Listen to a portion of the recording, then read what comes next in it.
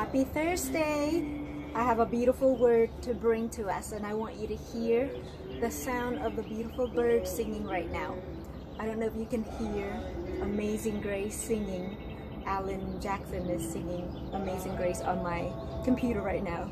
And um, just the sound of the birds chirping, the sound of spring coming forth, and Amazing Grace, and this beautiful word full of truth and grace I pray that it, it will lift up your spirit, your soul, because I've been kind of down, discouraged. So I need this word today, and I pray it'll bless you as it has me. Today is a day to trust me. I know that things have been difficult for you. I know how hard you've been working. And I'm asking you to trust me and know that I'm guiding and leading you sometimes for me, it gets hard to trust the Lord when you don't see the miracles that you have been praying for over a decade and you've been believing and standing on. And you know you're just weary. I know that I'm not the only one but that's what I've been feeling. I've just been feeling weary and I'm like tired. You know I don't want to you know, pray anymore, but I do um, because you can't have a life with Christ, in Christ, in fellowship with God without prayers. It's just not possible. Amen. And praying is just um, our hearts, our thoughts, um, connecting, fellowshipping, communicating with the Lord. And without prayers, without communication, you know, there's it's not possible for us who are born again by the Spirit of God to exist without prayers. So, anyways, where am I at? I'm asking you to trust me and know that I'm guiding and leading you into a wonderful place where you're going to receive more than what you've asked for. Hallelujah. I know this is true because God has shown me that in so many dreams and yet, you know, I don't know why I get so like oppressed and my soul gets so downcast and then when I think about all the promises of God in his word and in the dreams that he's given me, I'm like, what am I sad about? So that's why I'm just laughing. I mean, the joy of the Lord is in me right now. all right. And this is not the time to give up. When you trust me for rewards and payment for your labors, you escape a million sorrows and frustrations. Not only that, you'll have a feeling of holy expectation. Glory, hallelujah. That was a holy laugh, just so you know. this feeling is one of delight.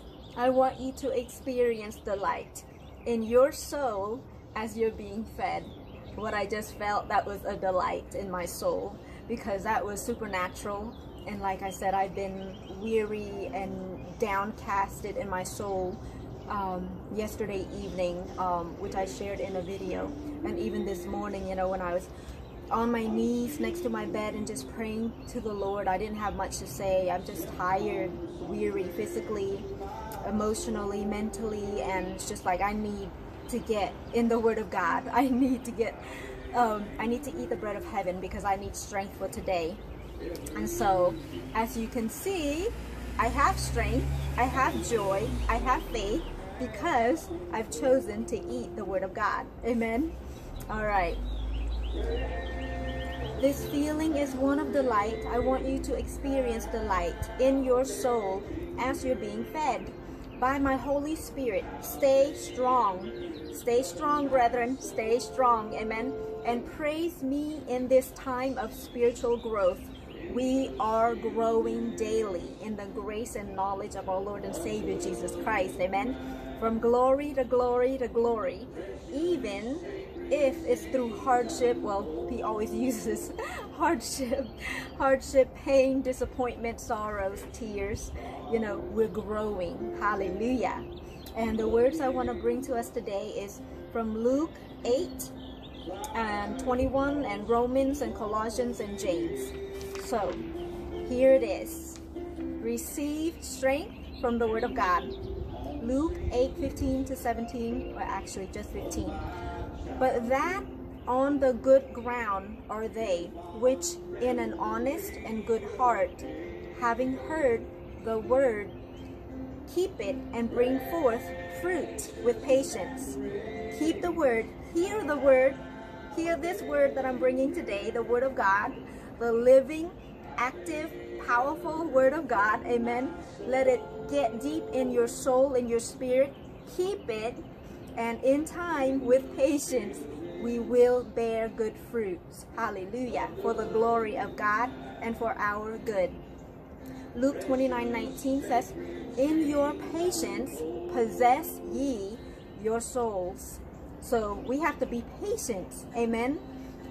To possess our souls. What does that mean? Be patient till the end. Hallelujah. For God to bring and fulfill his promises on earth in our lives till the end. Amen. Hallelujah. Romans 5 3. And not only so, but we glory in tribulations also.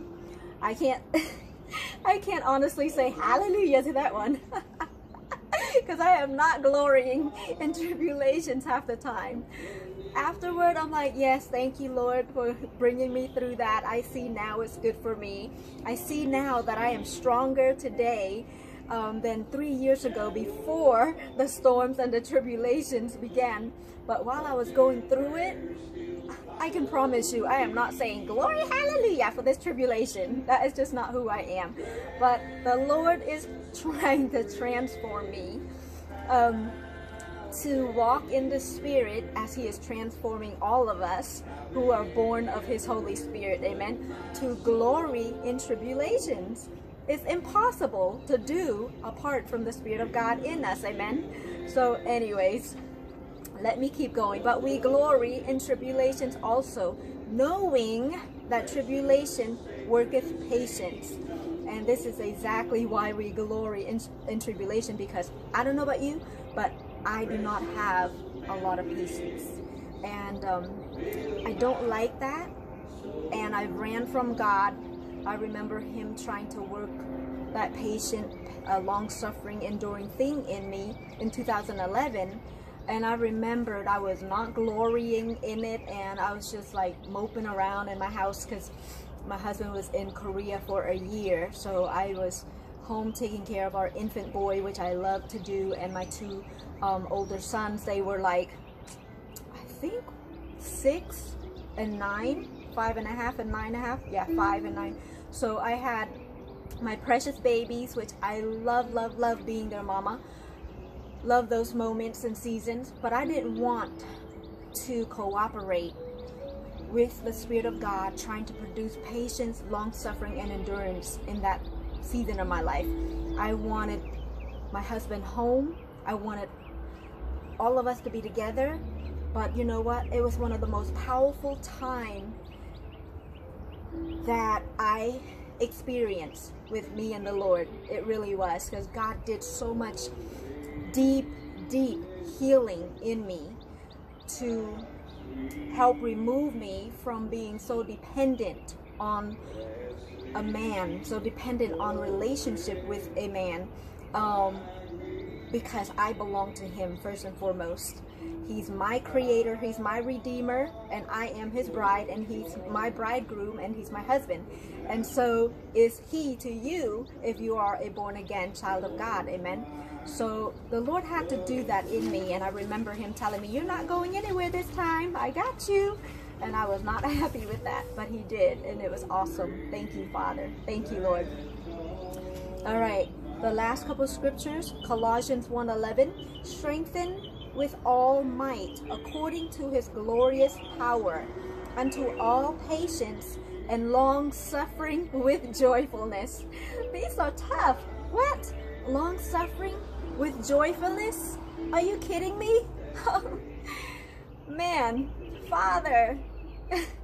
Ooh, he is not an easy daddy, okay? He's an awesome, awesome, amazing, wonderful, perfect, flawless, magnificent, I already said wonderful. He is. All of that. He's awesome. However, he's not easy. It is not easy to be a child of God.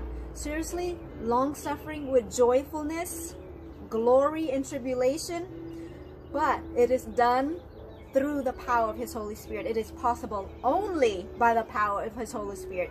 And this is why Jesus said, You must be born again of the Spirit of God. Amen. Because we cannot walk with Christ apart from repentance and receiving the forgiveness of sins and receiving the gift of the Holy Spirit. Hallelujah. That's Acts 2.38 and many other scriptures. So, the last one, James 5.11, Behold, we count them happy which endure. We count them happy which endure. Happy and endure. Hmm, they don't go together in the natural. But in the spirit, when we walk in the spirit by the power and might of the Spirit of God, happy comes when we endure. Amen? Oh, wow. Ye have heard of the patience of Job and have seen the end of the Lord, that the Lord is very pitiful and of tender mercy. Sometimes it doesn't seem like he is because sometimes like our suffering and tribulation goes on forever. It's just like decades. I'm like, you know, how long, how much longer, Lord, how much longer? And yet, all the while, God is faithful, patient, long suffering with us. Amen. Because love is long suffering, love is patient, love is enduring, and love hopes. So I pray that this word brings you encouragement. I, I feel a lot better already. I'm going to head off, run a couple errands, go to our meetings today. And I pray that you will take this word with you, walk with Jesus. Amen. He will give us strength and power and might to endure patience with joyfulness and we can glory in our tribulation. Hallelujah. I love you guys. God bless you. Take time to give him praise today, like the birds. You hear them?